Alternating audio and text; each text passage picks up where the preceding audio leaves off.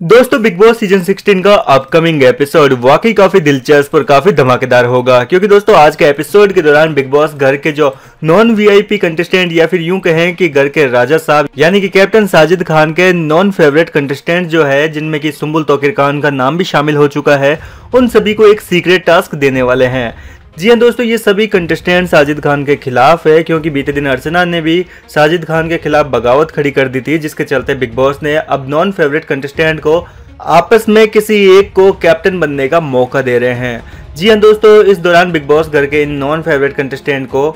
Activity area में बुलाएँगे और वहाँ पर इन सभी को ये पूछेंगे कि आप लोग अगर अपना खुद का कैप्टन बनाना चाहते हैं और साजिद को कैप्टनसी से हटाना चाहते हैं तो आपको कुछ टास्क दिए जाएँगे जो कि सीक्रेट होंगे और आपने सीक्रेटली अगर वो टास्क कर लिए तो फिर आप अपना कैप्टन बना सकते हैं। इस दौरान दोस्तों बिग बॉस कुछ ऐसे टास्क देंगे, जैसे कि घर वालों को, यानी कि जो नॉन फेवरेट कंटेस्टेंट है, उनको कभी एमसी स्टैंड से रेप बनवाना होगा, यानी कि एमसी स्टैंड को रेप गाने के लिए मजबूर करना होगा तो कभी निमृत को बार बार ड्रेस चेंज करने के लिए टास्क देंगे। यानी कि उनको जाकर चुपचाप निमृत की तारीफ़ करनी है, उससे कपड़े बदलवाने हैं अलग अलग कपड़ों में उसको देखना है। कुछ इसी तरीके के अगर सीक्रेट टास्क ये नॉन फेवरेट कंटेस्टेंट यदि कर देते हैं तो ये आपस में किसी एक को कैप्टन बना सकते हैं और साजिद खान को बिग बॉस के द्वारा बर्खास्त कर दिया जाएगा। खैर दोस्तों, आज के एपिसोड के दौरान देखना दिलचस्प होगा कि क्या घर वाले यानी कि जो नॉन फेवरेट कंटेस्टेंट है,